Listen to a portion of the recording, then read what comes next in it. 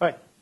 Thanks a lot for the the paper for the conference. Uh, this is a paper with Avinash Dixit, and uh, it's really not on the um, on uncertainty on economic policy. So what I really did uh, in between is I, I actually Googled my paper, and it does have the, even though it's not about uncertainty and economic policy, it does have the word economic policy and uncertainty, so I think I'm okay.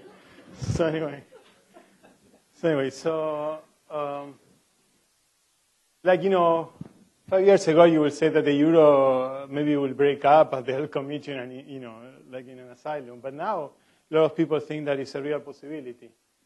So the idea is that we want to measure the option value that it could be on uh, the breakup of the euro if, if anything, that's a contribution of this paper. It's not a particularly good paper about the advantages uh, and disadvantages of having the euro, but we think that we could make a bit of a contribution on measuring how much more pain you should take before abandoning the euro.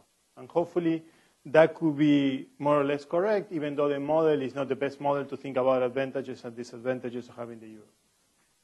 So we're going to model the Eurozone as individual countries that have some flow benefit that is independent of monetary policy, and some flow costs, which will be the inability to do something with their monetary policy for shocks at individual that are specific to the countries.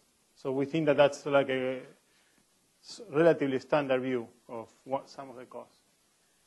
And we're going to uh, model the breakup as to be reversible and subject to large fixed costs. So both things. So I think the reversibility is a, a, bit of a stretch, but the idea is that it will be hard to uh, mount a project like this, say, two months after, so we're going to take a point of view of is really reversible. Uh, we'll I talk more about the fixed cost as I write in the little model. Um, so because of this, because of the reversibility, then, you know, uh, it's kind of like a real option problem that you want to you don't want to exercise it right away when you're just indifferent. You want to wait a little bit more, and that will be really the, the point of trying to get some idea of that. How much more you want to go from the point in which the fixed cost is equal to the next present value of the benefits. Okay, so now sort of like a sketch of the model and the findings. So we're going to have uh, some version of Europe, of the Eurozone that has a common monetary policy. So it could only offset uh, you know, euro aggregate shocks because it will be the same policy for everybody. Um, we're going to have something that is the, that affects the desirability of, of our modeling of monetary policy. There will be some deviation from the ideal point that they like to be in their monetary policy that will look like an AR1, like a continuous time version of an AR1. So think of this as something, we call it like nominal misalignment in the paper or maybe some version of uh, uh, deviations from PPP. You know, things are expensive. It's sort of too expensive now in Greek, in Greece relative it should have been, and only slowly they're coming back to normal, that sort of idea. Uh, we're going to use a very simple, kind of reduced form, static model of cost and benefit. So I'll write it in a second. Uh, we're going to use, look in the literature, kind of in macro, to sort of calibrate the parameters of very, this very simple uh, uh, loss function.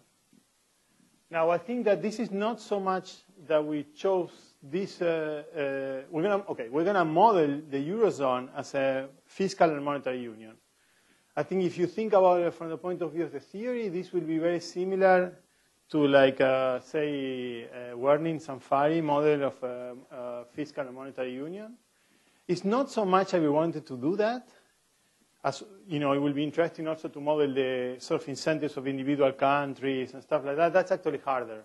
So the truth is that we're going to model that as a fiscal union with transfers within, just because it's the model that is easier to do and hopefully still will, will have some interesting results.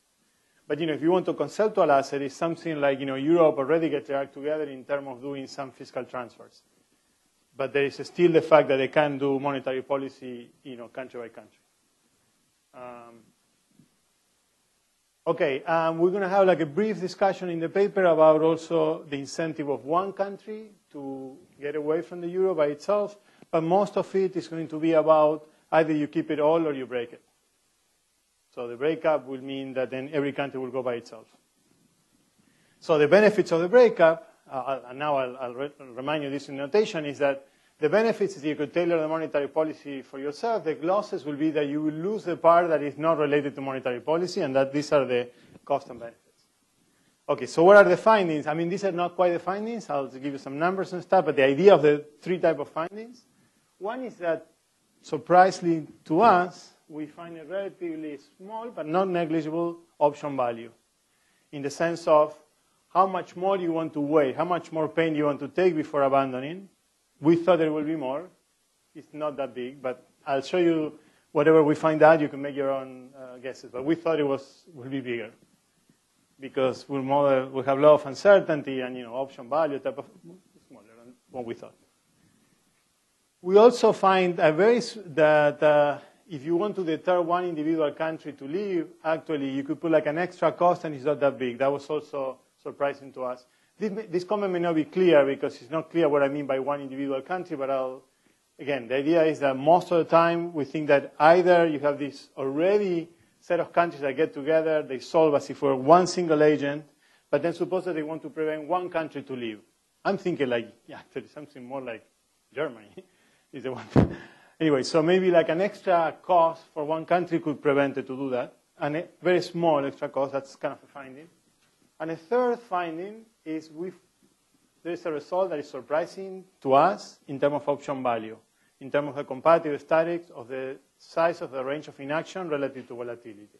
We think it's a new result that is surprising and we get a new characterization. That I think could be interesting beyond the particularity of this. It's about, you know, do range of inaction become bigger or smaller with volatility? And it's, it's not monotone. Anyway, so these are the three things. So at the end, I hope I have some sort of numbers that some range of values that I could contribute here and some characterization here. Okay, so there's actually a large literature kind of in macro about the cost of benefits. And, um, but there is actually small literature on the breakup. So we are actually on that. But let me just skip this since interest of time. Okay, so here's our model. It's really very simple, a bit embarrassing. Okay, so uh, n countries, there will be something capital X that is some state of the nominal shock. Think of this as something like uh, maybe cumulative, kind of like the price level type of thing. And then fo it follows an AR1 in continuous time so it mean reversed at the rate mu, so mu, mu, is a positive number minus mu, so the rate is mean reverting. It has some shocks with variance sigma i, so dw, so w will be a, wi is a Brownian, a standard Brownian independent across countries, and wc is a Brownian that hits all the countries at the same time. Sigma c will be the common variance of the aggregate shock, and sigma i the variance of the individual one. Actually, the common variance, that part is kind of a side issue. It's a bit of a false generality, but anyway, it's there just to prevent questions. I mean, you'll see it. I mean, you'll see it. Uh, then there is a, a, Eurozone common monetary policy, and that's going to be denoted by capital Z. So think of this as what the ECB is doing. And then the effect on each country will not be X, but it will be small case X, which is big X minus Z. So the idea is that kind of what affects each country in terms of nominal variables will be some exogenous thing that moves up and down, and then monetary policy could change it. Okay. Now, this doesn't have a meaning yet, but the idea is that the flow utility for each country will be u of i xi. So, the idea is that the best point to be is when xi is equal to 0. So you not to have, you like to have xi, xi equal to 0. So that's kind of some sort of bliss point. And if you could actually target the z, you could make xi equal to 0 every single period. And that will be the idea if you have an independent monetary policy, that will be kind of the model. Now, while you're in the union, ui of 0 will be strictly positive. So that means that if you are within the Eurozone, and you just happen to have at each country have a little x equal to zero, so it's the best possible. And on top of that, you are in the Eurozone, you are kind of happy because you have a strictly positive payout. If you break out the union and then you go by yourself, you could ensure to have little x i equal to zero every single time, but then you lose the constant, so to speak, of the function u. So that will be the trade-off. So the idea is there's something good about the, the uh, Eurozone that is not related to tailoring the monetary policy, and that's the level of this function u. Okay.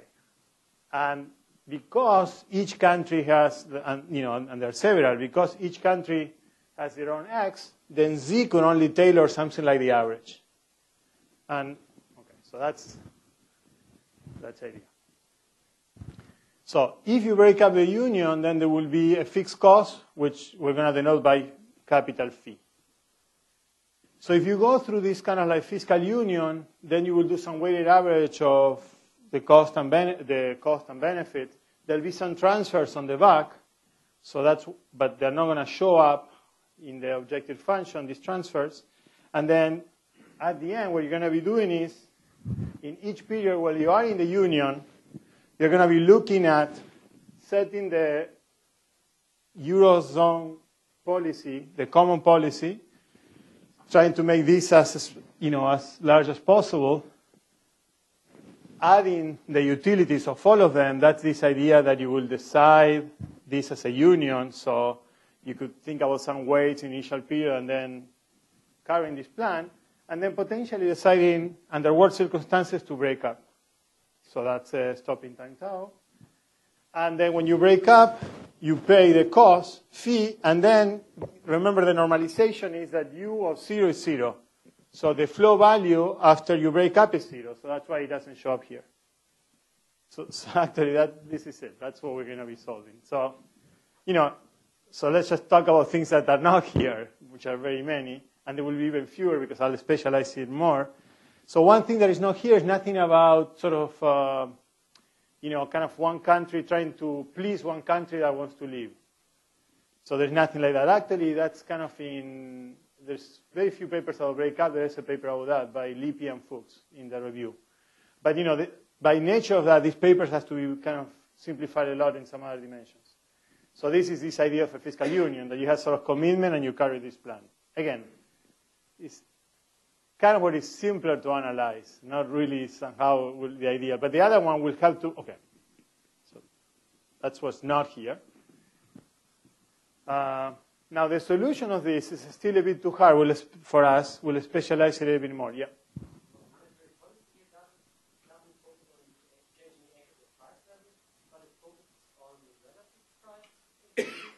No, no. Well, think about the aggregate price level. So, uh, you know, there's some there's, some, there's something about the, the price level that you like to have in each country, but some countries have a little bit higher, some countries have a little bit lower.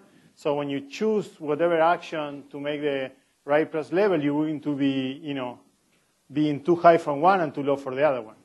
So I will answer yes. It does focus on the aggregate. But, you know, they're, they're pulling you in different directions. Because some countries would like to have, if you want, this is really more expansionary policy. Some countries will have more contractionary policy. But, you know, so they have these different UIs. So you are going to be only doing the average.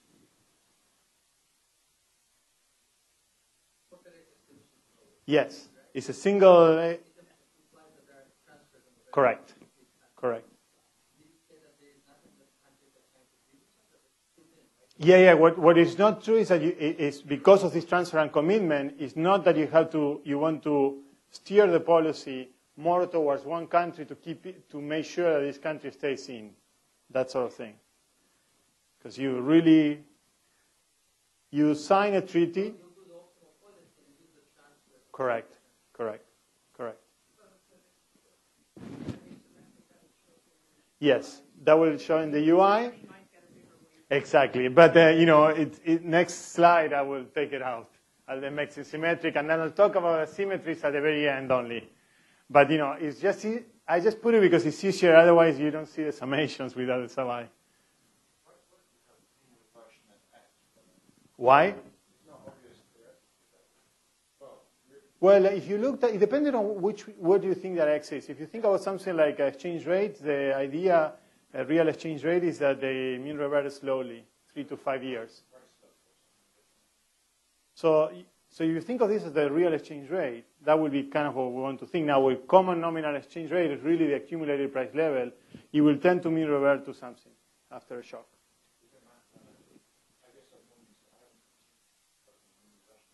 Correct. Yes. Yes. Yes. It will get. So we actually we did it because we thought that we thought that the the type of variable that we're going to use for this is real exchange rates. So the idea is that things are too expensive in one country, too cheap in the other one, and somehow if you could have like a monetary policy in each of them because they have sticky prices, you will do something so that the real prices get to be correct. But if you leave them by themselves, they tend to mean revert, but relatively slowly. So real exchange rates have a mean reversion, typically half-lives of five years or so. That's sort of, you know, there's, this, I mean, this is going to be, it's a very simple model, so that's will, will be the reign of precision. No, we'll do it with or without mean reversion, this one, but. Yes, there is more hope but there will be hope oh, anyway, but, uh, but there's even more hope, yeah. Anyway, we did it because we thought it would be reasonable. That's the truth, but. Okay, so now we're going to specialize it even more. So, so basic, okay, so first notice that the, okay, a few words. So notice that the solution for this, you have an, um, you have two, two points you have a control z that doesn't affect the law of motion of x. So that control you will decide in each point with, uh, is completely static. And essentially you're going to try to hit the average deviation. That's one sort of simple point. So that's why it's a little bit of a side issue. Second, uh, so the solution for this is you looked in some, so if there are n countries, you looked in some n-dimensional space, and you would say, okay, around here, close to zero, then I stay. Far away from zero, I leave. Like, you know, if some countries are very out of whack because they became too expensive or really, really too cheap, I break it up. Or if in average, there are some, you know, you add up a lot of deviations, you also break it up. So now we're going to specialize things, so, but we, can, we couldn't really do the really n dimension, so we'll specialize it in a way so we could do this in one dimension. So this is actually an n-dimensional stopping time problem. That's kind of hard. So we're going to put something so we can make it into a one-dimensional problem so it's easy, easier. Okay, so the, that uh, the following. So I make the comment about Z. So that's what you solve Z. Regal, you know, it, it doesn't matter what the ECB does right now in terms of the future, because, you know, if you break it up, then each country will have their own central bank, so it doesn't really tell anything about the future. Then we're going to have quadratic utility. It has a constant. Remember, the constant is how good it is to be in the, in the Eurozone if somehow all the deviations were zero, all the misalignments were zero. And it has some sensitivity, which is how painful it is not to be on, on top. And then it's a square, because the idea is that it could be because it's too expensive, it could be because it's too cheap. Because of this quadratic, it's kind of trivial to see that what you will do with x, z, is that you will actually target the average x, and hence the little average, little small case x will be zero in the cross section at every every moment of time. This is actually like in, uh, I'm just looking at Oleg because he's discussing Ivan's and, and, uh, and Emmanuel's paper. That's actually like the results in the paper anyway. So. So, you know, you, you won't have like all countries with positive x or negative x. In fact, this will add up to zero. Now, it turned out to be that in this case, what you could do when you go through this sum is that you could add all the x's, and then you add all these x's squared, and this process will become a one-dimensional Markov process. So that's kind of where you get the tractability. So even though it is an n-dimensional process, it has a representation as a one dimension. This representation of one dimension, I mean, you could always add n numbers, you know, 10 numbers and become one number. The point is that somehow you don't have to keep track of all the innovations separately to know where the guy is going to move tomorrow. So that's a trick that we're going to exploit. You could always add it. The thing is that notice that this is a one-dimensional innovation. And what you're trading off is now there is some uh, heteroscedasticity. And then there is n minus 1. I'll talk about this over a second. And then you get the mean reversion here. So y is like a cousin of a Bessel process, but not quite a Bessel process. Okay, so n minus 1, so z is no longer in the picture. Why? Because in some sense, having n countries is like having n minus 1 with the optimal monetary policy, because you could always target something above the average. That's why there is an n minus 1. This is not like a proof or something, but I'm trying to see why there is n minus 1s in the expression. That's kind of the idea. Now, why there is a minus, okay, y is, is a positive guy. It, li it likes to go up because the squares, they add up. But the mean reversions bring it down a little bit, and that, that was Jesus' point. And then why is it heteroscedastic? Well, because if all the deviations will be zero, you add small numbers to the square, and they're very small. So that's why there's this term. I'm doing like Ito's lemma and adding stuff that fast. That's what I did. That's the only thing I said. Anyway, that's the idea why you have this process. So the thing is that now it has become a one-dimensional process. So now we're going to look at this one-dimensional uh, problem. And you know, there's only positive. So the idea is there will be a, a value, y bar, at which you will abandon. And that will be a combination of perhaps you know, sum of the squares. So maybe all, you know, half of the countries uh, high, half of the country low, or maybe one country with very large deviation, say the southern countries with very large deviation, and the other ones with small deviations on the other side. Whatever combination that gives you that the sum of the squares hits a critical value y bar, then you will break it up.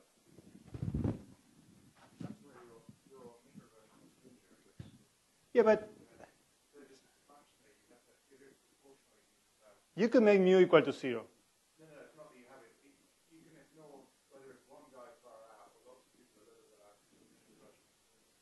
Oh, yeah, yeah, yes. Uh, because all the parameters being kind of the same.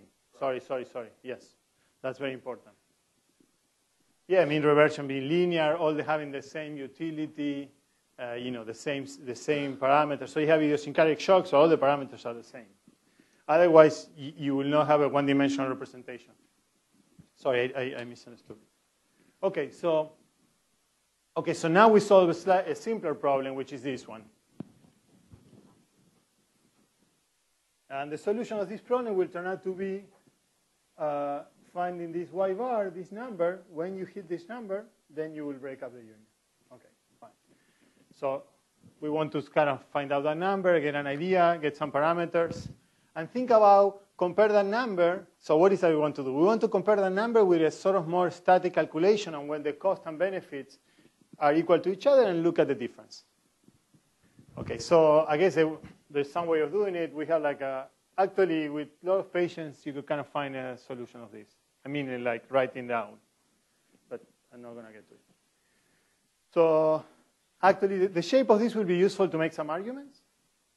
So, you know, the typical thing is that this, this is just record keeping. While you're in inaction, this follows this equation that is just keep track of payments. And then when you hit the barrier, then Remember, you pay the cost and then you get zero, so that's one boundary condition. And the other one is a sort of so-called smooth pasting. Okay, fine. I'll, okay, there's a figure.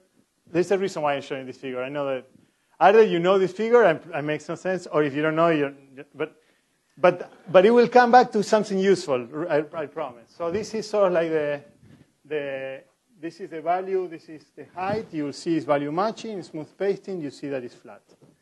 And remember, this is the sum of the square deviation. Remember that the x's without the squares are up to zero, but obviously with the squares, they're always non-negative. Okay, fine. First surprise to us, and that's why we are going to go to the chart, is the following table. The numbers here are they are really more made up than the rest. So these are just for illustration, okay? So don't pay attention. I mean, you know, some numbers. So the numbers are kind of round. But look at the table. The table has sigma, so different columns, mu's, different mean reversion. And then the number inside is y bar.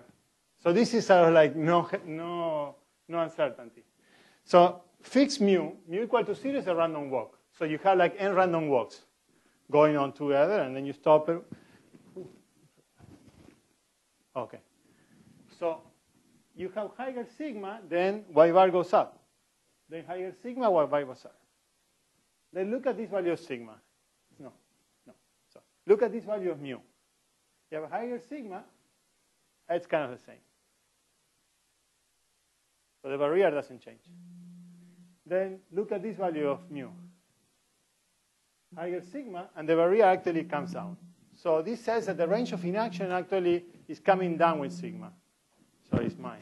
so it, and it's next to the microphone. the, so okay.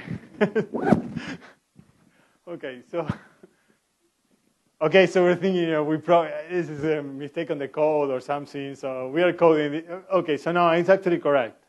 So the, the typical result we were used to is that you increase sigma and then there's more option value. So the set of states in which you in which you wait is higher. That's just actually not true in this problem. Okay, so okay, a bit of an explanation. Uh, so let me propose something else to measure option value, and then give you a, a kind of two, a proposition about you know how it works and an explanation. I mean, so why I'm saying this because you know sort of then we start to think about this will be really weird. Eh? When we get more higher sigma, then we will think that then if it is more uncertainty, then they have to stay in the euro longer. So what's going on? Oh, you know. Okay, so a bit of an explanation. So I think also this may be also interesting for people that work in option value independently of this. Okay, so so first, think about a different problem now. For a second, just tell me this will be useful. Think about a different problem. We're going to call that this a now or never problem. That is the following you, you have some state today and you, and you think, okay, I either abandon the union now or I never abandon it. And then think about which one you like to do more. And then find the threshold for that. So by construction, that problem, we will say, I mean, this is our argument, we say that argument, that problem has no option value because once you decided, you will never, you are not allowed to revise your, your decision. You see what I mean? We're making this, this up with, with Avinash, so it's not that it's something. So I'll say it again then. Yeah. We're going to call it now or never, just to give you the.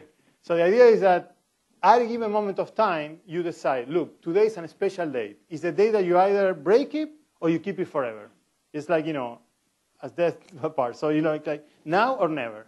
And you decided. You could say, well, I break it up or not.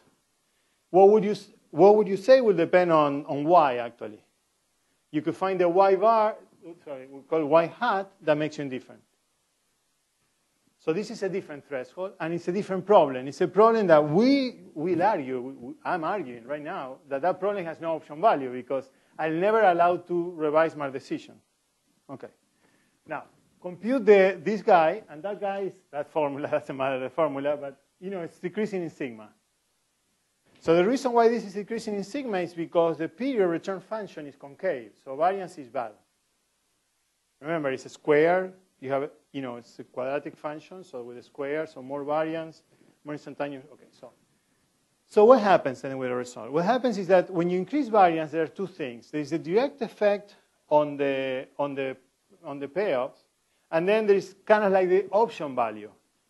And what happens is that higher sigma has more option value, but it has more also the direct effect on the payout. So you kind of have to take the difference to measure what we call the pure option value.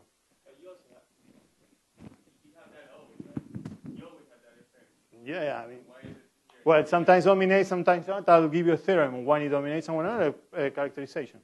But uh, you know, I'm arguing that this is the way to measure it.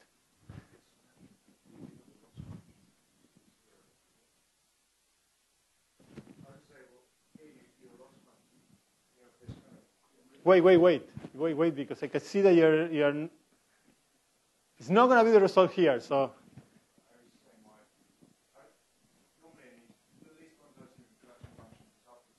Yep. Yes, size here is, is a two-sided. If you we're doing in squares, but if you're doing in level, you're abandoning on this side or on this side. Yeah, yeah, yeah. But that's like. Uh,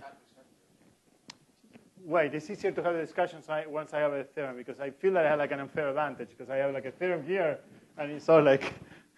So anyway, so this is mu. This is the same table as before. Then then I have the y bar, and then I subtract the y hat. And then you look at these numbers. Well, first of all, they are zero. There's no uncertainty, better be the case. And then now these numbers are decreasing, as they should. So I'm arguing that that's kind of the way to measure the option value, to compare this now or never type of problem, the threshold that you get from the threshold that you get with a problem that has both features. And in fact, that's what we need to measure when we think about kind of the breakup of the euro. Because the idea will be, what is it you will decide if you do kind of the myop, um, I don't know, uh, say the now or never, or the myopic decision versus this one. Now let me get into the reasons so that it's easier to, to, to get to that discussion. So here's a characterization of the solution. Now first, I want to do some normalizations because there are, there are actually fewer parameters than what it look like. So y bar and also y hat, both of them, they're a function of n, the number of countries, and three parameters. So first is, notice that there's a flow cost alpha. So there's a flow benefit alpha. There's kind of like a cost beta. And then if you abandon, there is phi. So if you multiply the 3 by 10, nothing really changes. You, just change the units. So obviously, some ratio will, the decision could only be a function of a ratio. In particular, it's a function of this ratio. And that's also, I think, economically very intuitive. Well, I can do things. Oh. So what is this? For the point of view of the whole union, what is the cost of abandoning? It is you paid, you give up alpha forever, so that so that's alpha divided by r is paid by n guys, because you know by not having the union you're not having the alpha. So the cost is really it is the same to have phi, to have a larger really fixed cost, which we think of whatever crisis will happen when you do this. So it's, it's the same to have phi or to have fewer benefits of staying in. That you cannot separate them. So, you know, if you were to divide this by R, so I guess I'm doing this everything in flow, is the flow value of the cost, phi times R, plus the flow value of the fixed cost, plus the flow, the flow benefits of staying in. These two, this n times alpha and phi times R, they don't have like separate uh, influence on the problem. And because it's homogeneous to degree 1, the objective function, if you multiply everything by 10, you cannot change the results, then you really could divide everything by beta. So when we think about comparative static of what matters, it's really like this number. I mean, you could put in separate numbers, but the only thing that will matter is kind of the total cost relative to the benefit. Remember, beta is how, how much it hurts not to have the optimal policy relative to the economic cost of breaking up, which is the benefits that you're not getting something say as the trade and the transaction cost, plus the cost of getting really the union, maybe the crisis that will come because you have to redo everything, all the contracts. So theoretically, that's only one parameter. Then there are two more parameters, mu and sigma. There are not three because, you know, everything, if you scale everything by, by time, you know, you just change all the, all the rates. So one is mu, and the other is sigma square. So I want to talk about sigma square, which is the one that I just talked about, the comparative static. But before, I'll mention these two, and one of the things that uh, Nick said before uh, already previewed the results. So how is mu, mu bar as a function of this cost relative to benefit? Well, you know, if it is costlier, okay, so y bar is increasing in the cost. Okay, so you abandon, you have a higher cost, so, or a lower, I mean, cost and benefit. So. And then Y bar, the other one that is slightly more subtle, but not that much more subtle, is Y bar as a function of mu. Mu is mean reversion. So if things tend to get better by themselves, you know, if you are kind of in a bad position now, if you wait, it will tend to mean revert. So that means that you will be indifferent from living at a higher value. Okay, fine. The, the, the one that is sort of trickier is sigma, is, the, is relative to sigma squared. Okay, we actually have a characterization. We have two things. We have an approximation of the solution, and we have actually a characterization of the derivative of y bar with respect to sigma squared. So let me go through the approximation first. So the nature of the approximation is that we solve the problem with r is equal to zero when there's no discounting. This is a well-defined problem in that case because you know eventually, as long as the stopping time is finite, you just add numbers, but you don't add infinitely many of them, so to speak. So everything is finite. So that problem actually is easier to solve. So we solve that one. And then we approximate the solution around that one. We do a Taylor expansion of it. So that's this object that is here. I mean, beauty is on the eye of the beholder, but one thing that you see is that there is some numbers here, And well, one thing that you see is that there is this guy, the cost and benefits, 16, which is kind of super obvious. Uh, but, but look, I mean, sigma is here in the bottom, and then there's stuff on the top. And the stuff that is in the top is m minus 1 mu minus r. So the sign of the partial derivative with respect to sigma squared will depend on this.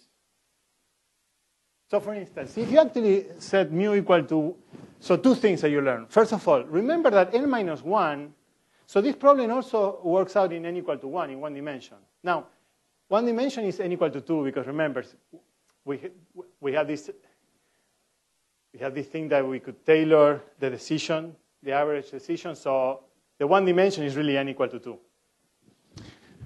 So, so this is not about having more than one dimension. It's really mean reversion against discounting. That's really what depend, what gives you the strength of mean reversion relative to discounting is what gives you whether the range of inaction is increasing or decreasing in sigma square. And, and this is sort of like the uh, intuition. I think it's I think the, it's like a something to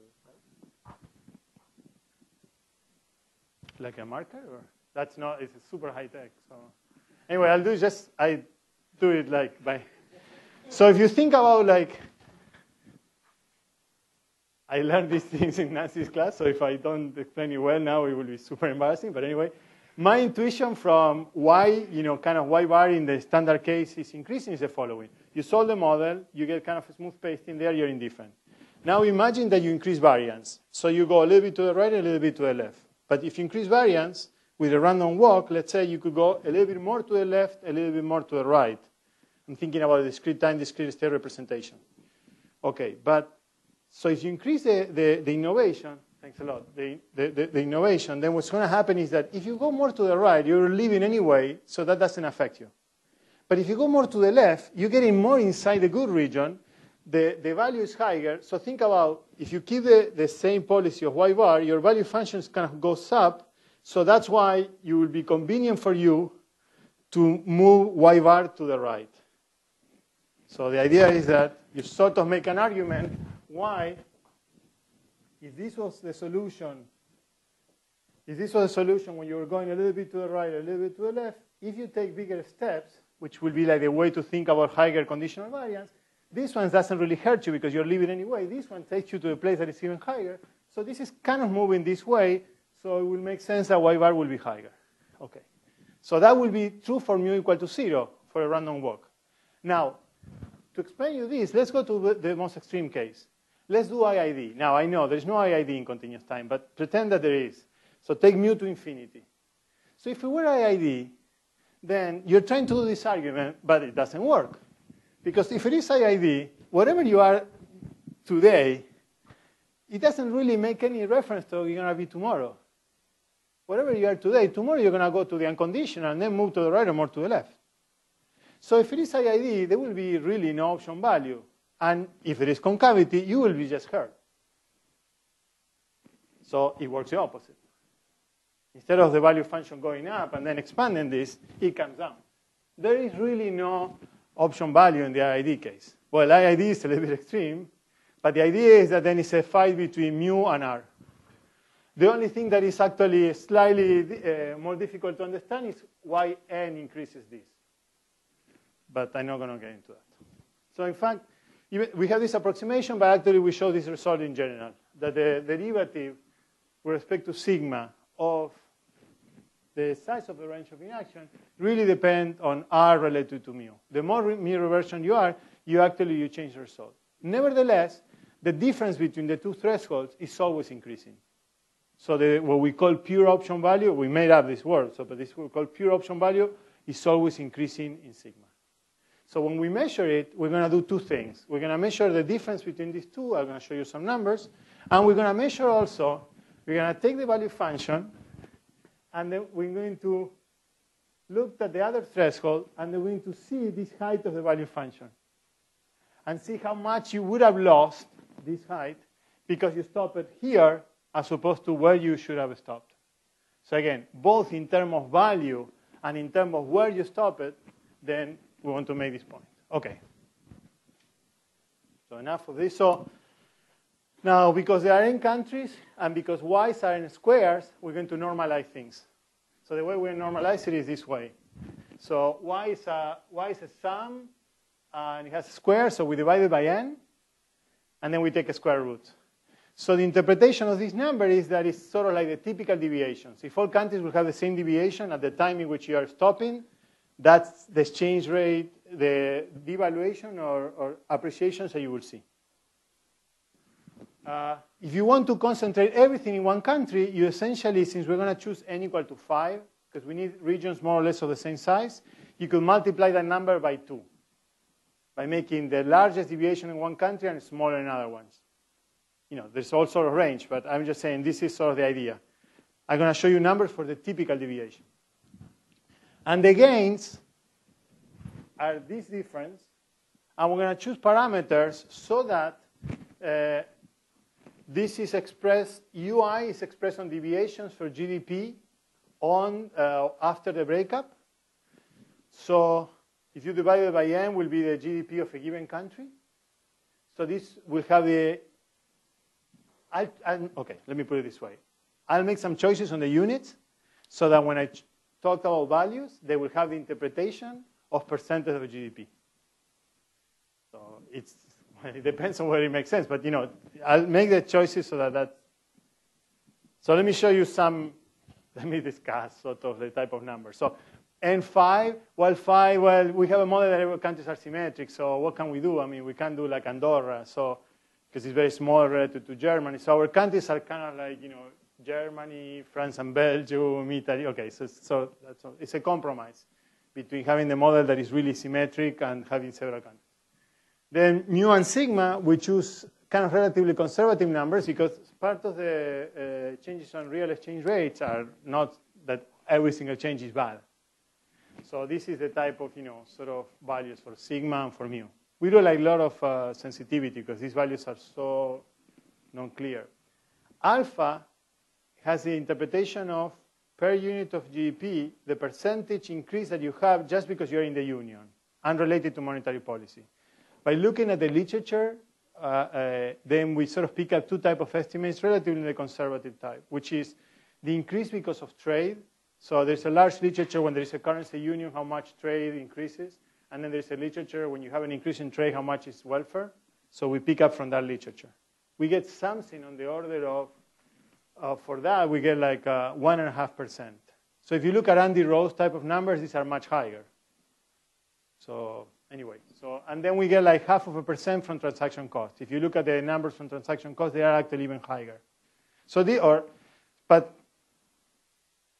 anyway, so 2% is how good it is to be in, in the Eurozone versus not being in the Eurozone unrelated to monetary policy. Then beta, well, you could kind of write like a sticky price model and then get the idea because you're not quite with the right prices. Then you have to pick some elasticities and shares and get the idea of how far away you are from the ideal price. It's a sticky price model. They all have like quadratic deviations anyway. So we choose some number based on that. But let me put it a different way. Beta is 2. What does it mean? Because, you know, in our objective function, we have beta divided by 2. It means that if you have a deviation of 10%, you are in terms of welfare 1% below in terms of GDP. So imagine that you are you have accumulated 10% more inflation than what you would like to have, and supposing you could have actually reduced that instantaneously, that will give you a welfare benefit of about 1% of GDP. So if you were to take 10% and somehow you are 10% above on cumulative price level, that's what this beta means. Phi over n, fees paid for the whole breakout, per country is 20%.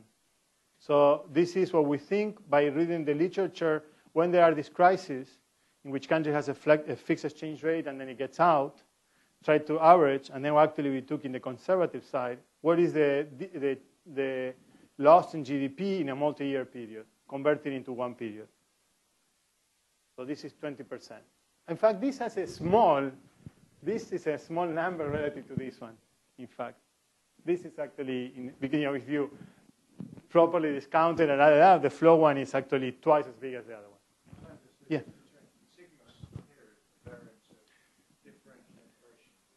Exactly. Yeah, the idea of you didn't have really convergence, and the other one is the mean reversion. Yeah. Yeah. Or, or, the, or the PPP because you have a common nominal exchange rate.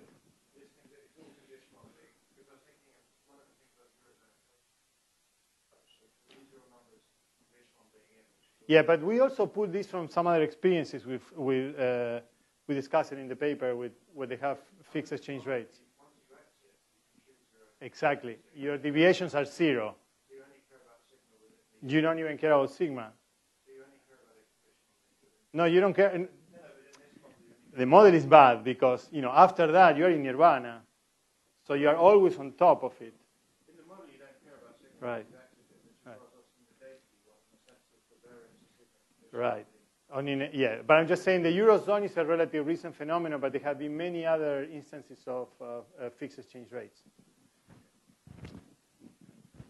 Anyway, so, so I have a bunch of figures and tables, but let me just summarize them. So, so the normalized threshold Y, which remember it has interpretation like what would be the kind of average, some country going up, some country going down at the effect on the when there is a, when there is a breakup is some number like 25%. That's actually not that different from just by coincidence, but it's not that different from what happened in this crisis. In fact, they're typically bigger in this crisis, but this is actually they were more or less evenly distributed across countries. Then the difference between y bar and y hat is kind of small, also about 5%. So if you were doing calculations and thinking about, I'm using like my favorite new Keynesian model with 27 adjustment costs, blah, blah, blah, but it's all linearized, and I do my calculations, here's I want to leave, you have to earn about 5% more. That's kind of what we think that you should learn from here. Oh, stretching or? Yeah, no, no, oh. I had a Yeah.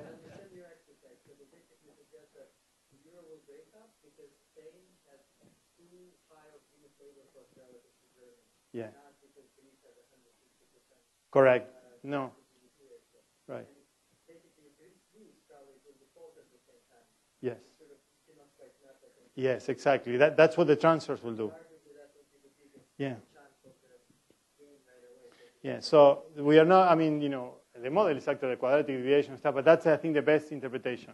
We're actually trying to write like a simple model that will be about that, but then probably it's calibrated, will be calibrated in different ways. It's not. Yeah. It's, yeah, I mean, we wrote like a quadratic deviation of something because we wanted to do something that we could really solve. And then we look for what is the, I mean, I'm just being honest, about what is the best type of uh, explanation that we could get. And it's just a typical Mundell type of idea, not the debt. So the benefits of the option value are 4%. It's a one-time 4% G, uh, uh, annual GDP which we thought they were small. But anyway, so that's, that's what we, the type of numbers that we get.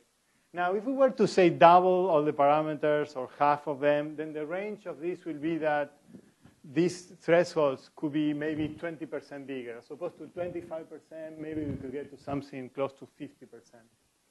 And these, maybe we could get up to 10%. But not much bigger, you know, sort of. And remember, you know, you're putting, you know, you're making a loss that is very big. It's 2% in perpetuity for all the countries, plus 20% drop in GDP for like a, you know, for a year. And still you get not much uh, um, option value. So very briefly, so let me not explain sort of the Another calculation that we did, which I don't have a lot of time to explain, but is the following, which we were also surprised. So you take one country, and now say call it take one country, say, say, take one country, and then you, you think about this country, and then you, you don't give transfers. So now this country is not equally happy now, because sometimes with the transfers, you're making everybody. So you look at a country that doesn't get transfers, and if he leaves, he pays just his share of the fixed cost. Then this country will be worse off staying in. So you compute it as if it will stay in the union. There will be sometimes will be worse off because you know it's not getting any transfers. So what we compute is what would be the extra cost that you have to impose in this country not to leave. And it's a small number. It's 1% of GDP. Re relative to, say, the 20% that is the breakup cost. So instead of having a crisis that will wipe out in a multi-year period, say 20%. If you wipe up 21% for this, you know, deviant country, you could keep it in. So the point of that is that uh, actually we think that probably is not such a big deal that we didn't do it country by country. Yeah, to, to once. No, once. Basically, if you impose an extra cost, if you do it as a flow, you have to take 5% of that, say, as an interest rate of 5%. So it's really, you know, on the order of 5 basis points every year to keep it. So, you know, we'll, we'll, so let me conclude. Actually, I show you this because, no, let me conclude. So, so then, uh, so we think that there was this surprising to us theoretical Resonant option value that optimal threshold could be decreasing in volatility, but yet option value properly defined is increasing in volatility. We think that this may be interesting in some other, for some other applications, and it's really something about mean reversion in this, in this setup. Uh, also, we found small but non-negligible value, option value on the order of, say, you know, a one-time loss of 4% of GDP if you didn't do these calculations, or like uh, maybe you know, a misalignment, if, if you think about, you know, how much you tolerate, maybe you should tolerate five, between five or 10% more per country. That is to say, again, if you actually solve it without thinking about that, if you put like 5% more or so, then probably you will be fine. And then the fact, something was surprising, I didn't have time to explain the nature of the exercise, but the idea is that this was either everybody break up or everybody stayed in, but actually, the incentives for individual countries are not that different. So we actually kind of developed that and using the same parameters, try to measure it, and we got a, a, sort of a small difference. So if we were to do like more like a game where we actually get to see everybody staying in, we think that it will things based on that will not change a lot. Ah, okay. Actually, we computed that is very large. So, uh, you know, we compute expected times conditional on being on y hat of hitting y bar, for instance. And it's rather large. We don't understand why it's so large. On the order of 10 years or so. So if you make the calculations kind of like naive, then you're probably, in average, uh, you're, you're breaking up 10 years earlier. Oh, yeah, yeah, I just give you the, the mean. Um, I don't remember this person. But it, I computed the mean because we thought that, and it's 10 years or higher depending on the parameter. 10 years is kind of on the minimum one. So, you know, you, you could compute being here. Think about the stopping time of actually first time that you hit this one. So you left too early. But, you know, if there are shocks, you could be hanging on here, here. What is the, in one realization, you get here. Okay? So then you compute the stopping time I get in here, conditioner starting here. And that number is the smallest we could get is on, on all the parameters that we looked at is 10, which we think that could potentially be reasonable, is 10 years. And it could be as high as 100 expected time. So we don't quite understand why that's so different. But um, guess given the question and that you were kind of smiling before, you probably guessed.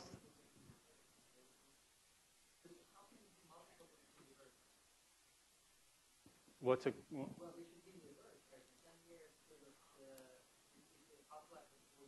Mm-hmm.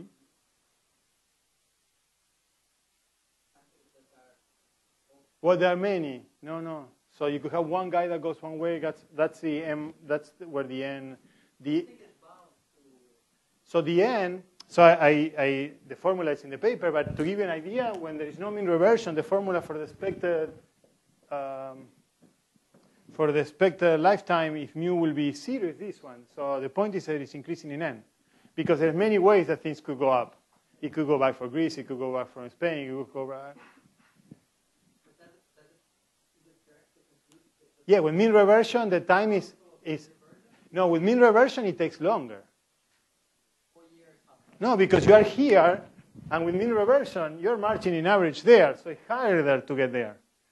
And I just, but I'm just telling you that one thing that why this is true is because n makes a difference because things could go back in different ways. It could go back for Spain, it could go back for Italy.